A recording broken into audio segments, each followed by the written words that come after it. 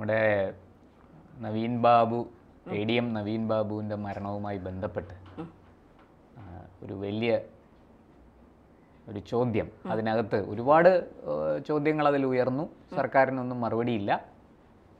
വലിയ രീതിയിൽ അത് വിവാദമായി ദിനം പ്രതി ആ വിവാദത്തിന്റെ ഒരു ബലം വർദ്ധിച്ചുകൊണ്ടിരിക്കുകയാണ് ഇരിക്കട്ടെ. അതിൽ പക്ഷേ ഇപ്പോൾ നമ്മുടെ ടി പി ചന്ദ്രശേഖരന്റെ വിധവ കെ കെ രമ അവരിപ്പോൾ എം എൽ എ കൂടിയാണ്.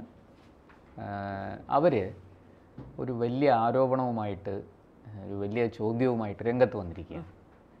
ഈ പോസ്റ്റ്മോർട്ടം നവീൻ ബാബുവിന്റെ ഡെഡ് ബോഡി പോസ്റ്റ്മോർട്ടം ചെയ്തത് ബന്ധുക്കളുടെ സാന്നിധ്യത്തിൽ ഇൻക്വസ്റ്റ് തയ്യാറാക്കിയല്ല വളരെ വേണ്ടപ്പെട്ട ആരുടെയെങ്കിലും സാന്നിധ്യത്തിൽ വേണം ഇൻക്വസ്റ്റ് തയ്യാറാക്കാൻ പോലീസ്.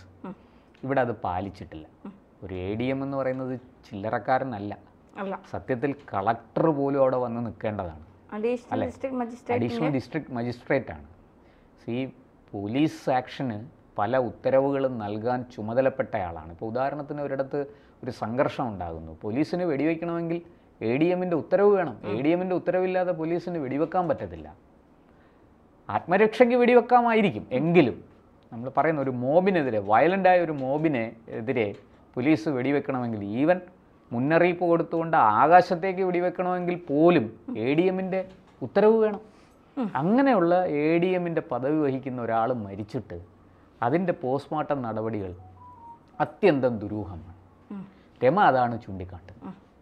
എന്ത് വിശദാംശങ്ങൾ? രമ എന്തൊക്കെയാണ് പറഞ്ഞത്? രമയ്ക്ക് ഈ കാര്യത്തിൽ രമ ചൂണ്ടിക്കാട്ടിയ ഏറ്റവും ഗൗരവമായ ഗൗരവകരമായ കാര്യങ്ങൾ ഒന്ന് വിശദീകരിക്കാം. പറയാം. അതിനു മുന്നേ നമുക്ക് കെ കെ രമ പറയുന്ന വാക്കുകൾ പ്രേക്ഷകരുടെ മുന്നിലേക്ക് ഒന്ന് കേൾപ്പിക്കാം. അതേ പരിയാരം മെഡിക്കൽ കോളേജിൽ ഇതേ ഉദ്യോഗസ്ഥന്മാരാണ് ഈ പോസ്റ്റ്മോർട്ടം നടത്തിയത്. എവിടെയാണ് ആ തെളിവുകൾ ഉണ്ടാവുക? എന്തൊക്കെ നശിപ്പിക്കപ്പെട്ടിട്ടുണ്ടാവും? അത് കൃത്യമായ കാര്യങ്ങൾ കിട്ടുമോ? ഇനി ആ ബോഡി പോലും ഇല്ലല്ലോ. ഒരു റീപോസ്റ്റ്മോർട്ടം ചെയ്യാൻ പോലും. എവിടെയാണ് തെളിവുണ്ടാവുക? അതുപോലെ തന്നെ അന്നത്തെ ഇൻക്വസ്റ്റ് നടക്കുന്ന സമയത്ത് പോസ്റ്റ്മോർട്ടം നടക്കുമ്പോൾ ബന്ധുക്കൾ വേണമെന്നുണ്ട്. ഈ ബന്ധുക്കൾ നവീൻ ബാബുവിന് ഞാനിന്ന് അദ്ദേഹത്തിന്റെ ഭാര്യയോടൊക്കെ ഭാര്യയൊക്കെ പറയുന്നൊരു കാര്യം ഞങ്ങൾ എത്തുന്നതിന് മുന്നേ പോസ്റ്റ്മോർട്ടം കഴിഞ്ഞു. അവരെത്തുന്നതിന് മുന്നേ എന്തായിരുന്നു ഇത്ര തിടുക്കം? ഇപ്പോൾ പറഞ്ഞത് കേട്ടല്ലോ. അതായത് അടിമുടി ദുരൂഹതയാണ് നവീൻ ബാബുവിന്റെ മരണവുമായി ബന്ധപ്പെട്ട് ഇവിടെ നടക്കുന്നത്. പോസ്റ്റ്മോർട്ടം റിപ്പോർട്ടാണ് നമ്മൾ എല്ലാവരും കാത്തിരിക്കുന്നത്. ഈ പോസ്റ്റ്മോർട്ടം നടന്ന സ്ഥലം എവിടെയാണ്? Pariyaram medical college. Pariyaram medical കോളേജിലാണ് നവീൻ ബാബുവിനെതിരെ കൈക്കൂലി ആരോപണം ഉന്നയിച്ച ടി വി പ്രശാന്തനും നവീൻ ബാബുവിനെ പരസ്യമായി അവഹേളിച്ച പി പി ദിബിയുടെ ഭർത്താവ് അജിത് കുമാറും ജോലി ചെയ്യുന്നത്. അപ്പോൾ അവിടെ പോസ്റ്റ്മോർട്ടം നടത്തരുത് എന്നുള്ള വലിയ ഒരു ശക്തമായ നീക്കം പലരും നടത്തിയിരുന്നു. ശക്തമായ ആവശ്യ ആവശ്യപ്പെടൽ പലരും നടത്തിയിരുന്നു. പക്ഷേ അവിടെ അവിടെ തന്നെ വളരെ ലളിതമാണ്. അവിടുന്ന് കോഴിക്കോട് മെഡിക്കൽ കോളേജിൽ കൊണ്ടുവന്ന് ചെയ്യാവുന്നത് ചെയ്താൽ കൃത്യമായി സത്യസന്ധമായ കാര്യങ്ങൾ പുറത്തു വരും. പരിയാരം മെഡിക്കൽ കോളേജ് ആവുമ്പോൾ അവർക്ക് എന്തും തീരുമാനങ്ങൾ സ്വാധീനം ചെലുത്താൻ സ്ഥലമുള്ള കഴിവുള്ള സ്ഥലമാണ്. അപ്പോൾ സ്വാഭാവികമായും അതിൽ അട്ടിമറി നടന്നിട്ടുണ്ടാകും എന്ന് കുടുംബം ആരോപിച്ചാൽ അല്ലെങ്കിൽ മറ്റാരെങ്കിലും ആരോപിച്ചാൽ അത് തെറ്റി പറയാൻ കഴിയില്ല. അത് കൃത്യമായി ആരോപിക്കുന്നുണ്ട്. ഇവിടെ എവിടെയാണ് പോസ്റ്റ്മോർട്ടം സാധാരണ ഒരാൾ മരിച്ചാൽ പ്രത്യേകിച്ച് ഒരു എ ഡി എം ആണ് അഡീഷണൽ ഡിസ്ട്രിക്ട് മജിസ്ട്രേറ്റിന്റെ പദവിയുള്ള ഒരാളാണ്. അദ്ദേഹം തന്നെ പോസ്റ്റ്മോർട്ടം റിപ്പോർട്ട് കോടതിയിൽ ചെന്ന് വാങ്ങിക്കൊള്ളാനാണ് പോലീസ് പറയുന്നത്. ഇൻക്വസ്റ്റ് നടപടികൾ പൂർത്തിയാക്കുമ്പോൾ ബന്ധപ്പെട്ടവരോ ബന്ധുക്കളോ ഭാര്യ പോലും എത്തുന്നതിന് മുൻപ് ആർക്ക് വേണ്ടിയാണ് തിടുക്കപ്പെട്ട് ഈ പോസ്റ്റ്മോർട്ടം നടത്തിയത്? ആരെ സംരക്ഷിക്കുന്നതിന് വേണ്ടിയാണ്? ഇവിടെ പി പി ദിവ്യ എന്ന ചെറിയ മീനിനെ സംരക്ഷിക്കാനല്ല ഈ നീക്കങ്ങളും ഈ ഗൂഢാലോചനകളും ഈ പദ്ധതികളും നടന്നത് എന്നുള്ളതാണ്. ഇവിടെ അതിലും വലിയ തിമിംഗലങ്ങളെ സംരക്ഷിക്കാനാണ് ഈ പോസ്റ്റ്മോർട്ടം റിപ്പോർട്ടിൽ അട്ടിമറി നടത്തിയത് എന്നുള്ളതാണ്. ഇതിലിപ്പോൾ കുടുംബത്തിന് കൃത്യമായി ഇവിടെ കൃത്യമായ നിലപാട് സ്വീകരിക്കേണ്ടത് എ ഡി എമ്മിന്റെ ഭാര്യ മഞ്ജുഷയാണ്. അതിപ്പോൾ ഗോവിന്ദൻ മാസ്റ്റർ വീട്ടിലെത്തി പല വാഗ്ദാനങ്ങൾ നൽകിയെങ്കിലും കേസ് കൃത്യമായി അന്വേഷണം വാഗ്ദാനങ്ങളാണോ ഭീഷണിയാണോ ഭീഷണിയാണോ? എന്നറിയില്ല കാരണം രണ്ട് പെൺകുട്ടികളാണ് അവർക്ക് പ്രായപൂർത്തിയായ രണ്ട് പെൺകുട്ടികളാണ്. അപ്പോൾ തീർച്ചയായിട്ടും ഒരു അമ്മ എന്ന രീതിയിൽ അവരുടെ ആദിയും വിഷമങ്ങളും മാനസിക സംഘർഷങ്ങൾ നമുക്ക് മനസ്സിലാകാതെ മനസ്സിലാക്കാതെ പോകാൻ കഴിയില്ല. അപ്പോൾ ആ പെൺമക്കളുടെ ജീവൻ എന്തെങ്കിലും ആപത്ത് വരുമെന്ന് കരുതി അവർ മൗനം പാലിക്കുന്നതാണോ എന്നറിയില്ല. പക്ഷെ അങ്ങനെ മൗനം പാലിക്കുമ്പോഴും പ്രോസിക്യൂഷന്റെ ശക്തമായ വാദത്തിൽ കോടതിയിൽ നടക്കുമ്പോഴും അവർ അവരുടെ അഭിഭാഷകനെ കോടതിയിൽ നിർത്തിക്കൊണ്ട് തന്നെ ഇതിലുള്ള ബിനാമി നെക്സസ് അന്വേഷിക്കണം എന്ന കൃത്യമായി അവരുടെ വാക്കുകൾ വക്കീലിലൂടെ അവർ കോടതിയിൽ അറിയിച്ചു എന്നുള്ളത് നമുക്ക് മനസ്സിലാക്കാൻ സാധിച്ചിട്ടുണ്ട് എന്നുള്ളതാണ്. ഇനി മറ്റൊരു കാര്യം ഇവിടെ എടുത്തു പറയേണ്ടത്. ദിവ്യ ഇതുവരെ പിടികിട്ടിയിട്ടില്ല ദിവ്യ ദിവ്യയെ പിടിക്കാൻ എന്താണ് പോലീസിന് ഇത്ര അമാന്തം എന്നുള്ളതാണ്.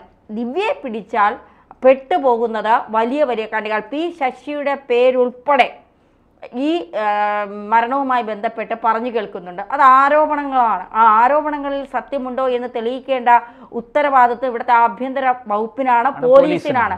അതെന്തുകൊണ്ട് പോലീസ് ചെയ്യുന്നില്ല? പ്രത്യേകിച്ചും ഈ രമ കെ കെ രമ ഒരു വിക്ടിമാണ് ഒരു ഇരയാണ്.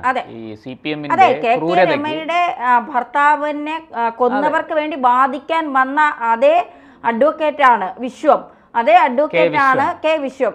പി പി രമയ്ക്ക് വേണ്ടി വാദിക്കാൻ തലശ്ശേരി അല്ല പി പി. ദിവ്യയ്ക്ക് വേണ്ടി വാദിക്കാൻ തലശ്ശേരി സെഷൻസ് കോടതിയിൽ എത്തിയത്. അപ്പോ ഇതിൽ അന്തർധാര നമുക്ക് തന്നെ സാധാരണ ചിന്തിച്ചാൽ മനസ്സിലാവുന്ന കാര്യമല്ലേ?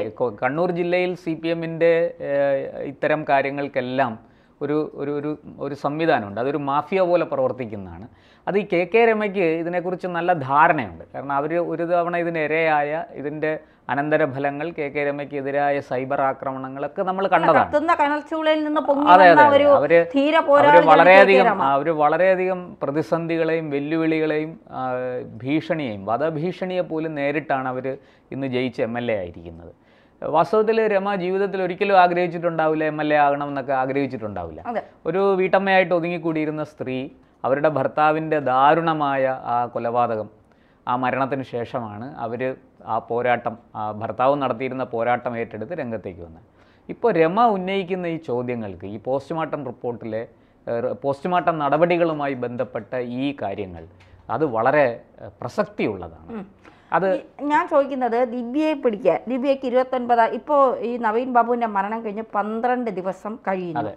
ഈ പന്ത്രണ്ട് ദിവസമായിട്ട് ഒരു ജില്ലാ പഞ്ചായത്ത് പ്രസിഡന്റിനെ പിടിക്കാൻ കണ്ണൂരിലെ ജില്ലാ പഞ്ചായത്ത് പ്രസിഡന്റ് ആയിരുന്ന ആയിരുന്ന ആളിന്. അതെ അതെ രാജിവെച്ചു. നവീൻ ബാബുവിന്റെ മറ്റേ പരാതിയിൽ പറഞ്ഞിട്ടുണ്ടല്ലോ എ ഡി എം ആയിരുന്ന. അതുപോലെ പി പി ദിവ്യ പഞ്ചായത്ത് മുൻ പഞ്ചായത്ത് പ്രസിഡന്റ് ആയിരുന്ന പി പി ദിവ്യയെ കണ്ണൂർ സിറ്റി പോലീസ് കമ്മീഷണറുടെ നേതൃത്വത്തിലുള്ള അന്വേഷണ സംഘം അന്വേഷണം തുടങ്ങിക്കഴിഞ്ഞിട്ട് ദിവ്യയെ പിടിക്കാൻ എന്തുകൊണ്ട് ഇവർക്ക് സാധിക്കുന്നില്ല? സോഷ്യൽ മീഡിയയിലൂടെ അല്ലെങ്കിൽ ചാനലുകളിലൂടെ മുഖ്യമന്ത്രിയുടെ ദുരിതാശ്വാസ നിധിയെക്കുറിച്ച് ഏതെങ്കിലും മാധ്യമ പ്രവർത്തകൻ പറഞ്ഞാൽ അല്ലെങ്കിൽ ഏതെങ്കിലും സാധാരണക്കാരൻ പറഞ്ഞാൽ ജാമ്യം കിട്ടുന്ന വകുപ്പ് കൂടി ഉണ്ടായിട്ട് പോലും ഇപ്പോൾ തിരുവനന്തപുരത്ത് ഡി എൻ എ എന്ന് പറയുന്ന ഒരു സ്ഥാപനം മാധ്യമ സ്ഥാപനം നടത്തിയിരുന്ന സുമേഷ് മാർക്കോ പോളയുടെ സ്ഥാപനം പോലീസ് ഒരു മുന്നറിയിപ്പില്ലാതെ വന്ന് റെയ്ഡ് ചെയ്ത് അവിടുത്തെ സാധനങ്ങൾ ഉൾപ്പെടെ പിടിച്ചുകൊണ്ട് പോയ സാഹചര്യം ഉണ്ടായി. അത്തരത്തിൽ നിലപാടെടുക്കാൻ കഴിവുള്ള പോലീസുകാർ ഉള്ളപ്പോൾ പി പി ദിവ്യയെ മാത്രം ഒളിപ്പിച്ചു വെക്കുന്നത് എന്തിനെ എന്നുള്ള ചോദ്യം വീണ്ടും വീണ്ടും സാധാരണ ജനങ്ങൾ ഉന്നയിച്ചാൽ പോലീസിനെതിരെ അവർ ആരോപണങ്ങൾ ശക്തമാക്കി കൊണ്ടുവന്നാൽ പോലീസിന് എന്ത് മറുപടിയാണ് അവരോട് പറയാനുള്ളത്? ഒരു മറുപടിയും ഇല്ല ഈ കാര്യത്തിൽ. ഇല്ല. നമുക്ക് രമയിലേക്ക് തിരിച്ചു വരാം. രമ ഇത് കൂടാതെ ഈ ഇപ്പോൾ ഈ പറഞ്ഞ രമയുടെ ഒരു ബൈറ്റാണല്ലോ പുറത്ത് വന്നിരിക്കുന്നത്. അല്ല രമ രമയെ സംബന്ധിച്ചിടത്തോളം ആലോചിച്ച് നോക്കണം പ്രശാന്ത് ഏട്ടാ. സ്വന്തം ഭർത്താവിനെ മുഖം പോലും കാണാൻ കഴിയാത്ത രീതിയിൽ വികൃതമായി അൻപത്തിയൊന്ന് വെട്ട് വെട്ടിയാണ് അദ്ദേഹത്തെ തീർത്തത്. സി പി എം മുന്നറിയിപ്പിൽ പറഞ്ഞതാണല്ലോ നിന്റെ തല പൂക്കുല പോലെ ചിതറിക്കും അതെ അത് അതേ രീതിയിൽ അവർ പറഞ്ഞ വാക്ക് അവർ പാലിച്ചു എന്നുള്ളതാണ്. വാളുകൊണ്ട് നാക്കുകൊണ്ട് ആളെ കൊല്ലാൻ കഴിയുമെന്ന് തെളിയിച്ച ഒരു പാർട്ടിയാണ് സി പി എം. കാരണം വാളുകൊണ്ട് ഡി പി ഐയും നാവ് കൊണ്ട് നവീൻ ബാബുവിനെയും. കൊന്ന ഒരു പാർട്ടിയാണിത്. ഇപ്പോൾ ഈ ഞാൻ രമയിലേക്ക് തിരിച്ചു വരാം. രമ ഈ പോസ്റ്റ്മോർട്ടത്തിന്റെ കാര്യമൊക്കെ പറഞ്ഞു. എന്താണ് രമയുടെ നിലപാട് എന്താണ്? ഇതൊരു സി ബി ഐ അന്വേഷണത്തിലേക്ക് വിടണം എന്നാണോ രമ ആവശ്യം? അങ്ങനെ എന്തെങ്കിലും ആവശ്യം രമ ഉന്നയിച്ചു തീർച്ചയായിട്ടും. ഇത് രമ മാത്രമല്ല പല നേതാക്കളും ഇത് സി ബി അന്വേഷണത്തിലേക്ക് തന്നെ വിടണം എന്ന് തന്നെയാണ് പറയുന്നത്. പ്രതിപക്ഷം അങ്ങനെ അത്ര അടിയുറച്ചൊരു ആവശ്യം ഉന്നയിക്കുന്നുണ്ടോ പ്രതിപക്ഷം? ഈ തെരഞ്ഞെടുപ്പ് സമയമായതുകൊണ്ട് ആർക്കും ഇതിന്റെ പിന്നിലേക്ക് ഓടാൻ സമയങ്ങളില്ല. കാരണം അവർക്ക് ആര് ജയിക്കണം പാലക്കാടും വയനാടും. ഒക്കെ അവരെയും കുറ്റം പറയാൻ വയനാട് എനിക്ക് തോന്നുന്നില്ല. പ്രതിപക്ഷം കോൺഗ്രസ് ഒക്കെ വലിയ അവർ വളരെ ശ്രദ്ധയൊക്കെ കൊടുക്കുന്നുണ്ടെങ്കിലും അവർക്ക് അത്രയും ആശങ്കയില്ല. ഇല്ല. പക്ഷെ പാലക്കാടും രീതിയിലുള്ള ശ്രദ്ധ. കൊടുക്കുന്നുണ്ട്. ശ്രദ്ധ മുഴുവനും ബി ജെ പി വലിയ രീതിയിലുള്ള പ്രതിഷേധം ഉന്നയിക്കുന്നുണ്ട്. പിന്നെ ദിവ്യക്കെതിരെ കെ സുരേന്ദ്രനൊക്കെ രംഗത്തെത്തിയതൊക്കെ നമ്മൾ കണ്ടതാണ്. അപ്പൊ ബി ജെ പി അല്ല കഴിഞ്ഞ ദിവസം കഴിഞ്ഞ ദിവസം ഇപ്പൊ ഈ രമ പറഞ്ഞതുപോലെ തന്നെ ബി ജെ പി ജില്ലാ പ്രസിഡന്റ് കണ്ണൂര് പത്രസമ്മേളനം നടത്തിയ എനിക്ക് തോന്നുന്നു ഹരിദാസ് എന്നാണ് തോന്നുന്നു അദ്ദേഹത്തിന്റെ പേര്. അദ്ദേഹം പത്രസമ്മേളനം നടത്തി ആ, പിന്നെ ഒരു ഭൂമി കയ്യേറ്റവുമായി ബന്ധപ്പെട്ട് ഈ ദിവ്യയുടെ ബന്ധുക്കൾക്കാർക്കൊക്കെയോ പങ്കുണ്ടെന്നൊക്കെ ഉള്ള രീതിയിൽ അദ്ദേഹം പത്രസമ്മേളനം നടത്തിയതായിട്ട് പറഞ്ഞു കിട്ടും. ഞാൻ അതിന്റെ വിശദാംശങ്ങളൊന്നും അറിഞ്ഞില്ല. അതെനിക്ക് തോന്നുന്നു ഇന്നോ ഇന്നും നാളെയൊക്കെ ആയിട്ട് കൂടുതൽ തുടക്കത്തിൽ ബി ജെ പി ഇക്കാര്യത്തിൽ വലിയ ശ്രദ്ധ കൊടുത്തില്ലെങ്കിലും പിന്നീട് ബി ജെ പി വലിയ രീതിയിലുള്ള പ്രതിഷേധമൊക്കെ സംഘടിപ്പിച്ചുകൊണ്ട് വരുന്നുണ്ട്. ദിവ്യയെ പിടിക്കാൻ കഴിവുകെട്ട ഒരു പോലീസ് ഭരണകൂടമാണോ ഇവിടെ ഉള്ളതെന്നൊക്കെയുള്ള ചോദ്യങ്ങൾ ആവർത്തിക്കുന്നുണ്ട്. ഇതിൽ നമുക്ക് പറഞ്ഞ് അവസാനിപ്പിക്കാനുള്ളത് ഇതിൽ നവീൻ ബാബുവിന്റെ ഭാര്യ മഞ്ജുഷ തന്നെ ഒരു സി ബി അന്വേഷണം ആവശ്യപ്പെടണം. അത് കോടതി വഴി തന്നെ ആവശ്യപ്പെടണം. സംസ്ഥാന സർക്കാർ വഴിയല്ല കോടതി വഴി തന്നെ അവർ ആവശ്യപ്പെട്ടാൽ മാത്രമേ നവീൻ ബാബുവിന്റെ ആത്മാവിന് നീതി കിട്ടൂ. നവീൻ ബാബുവിന് എന്ത് സംഭവിച്ചു അതെ ശാന്തി കിട്ടൂ. എന്താണ് സംഭവിച്ചതെന്ന് സംഭവിച്ചത് എന്ന് നവീൻ ഒരു കാര്യം സത്യമാണ് കേരളത്തിൽ സി പി എം ഒരു വിധവകളെ സൃഷ്ടിക്കുന്നതിൽ വലിയ പങ്ക് വഹിക്കുന്നുണ്ട്. ഒരു വലിയ ഉത്സാഹം കാണിക്കുന്നുണ്ട്. ഇത് പാർട്ടി പരിശോധിക്കേണ്ടതാണ് ഒന്നത്. രണ്ട് ഇവിടെ രമയ്ക്കും മഞ്ജുഷയ്ക്കും തുല്യ ദുഃഖിതരാണ് രണ്ടുപേരും. രമയ്ക്കും മഞ്ജുഷയ്ക്കും യോജിക്കാം. അവർക്ക് രമ ആ നിയമ പോരാട്ടം നടത്തിയത് കൊണ്ടാണ് ചന്ദ്രശേഖരൻ കേസിൽ ഇത്ര ഇങ്ങനെയെങ്കിലും വിധിയുണ്ടായത് എന്ന് നമുക്കറിയാം. ഇവിടെ അതുപോലെ തന്നെ സംഭവിക്കട്ടെ എന്ന് നമുക്ക് ഒരു കാര്യം കൂടെ പറഞ്ഞ് അവസാനിപ്പിക്കാം. ജന സ്ത്രീകൾക്ക് ഏറ്റവും കൂടുതൽ പ്രാധാന്യം കൊടുക്കുന്ന ഒരു പാർട്ടി ഇത് മാറുമെന്നാണ് പറഞ്ഞത്. അത് വിധവകൾക്കാണെന്നുള്ളത് പിന്നീടാണ് ഇപ്പോഴാണ് ബോധ്യം.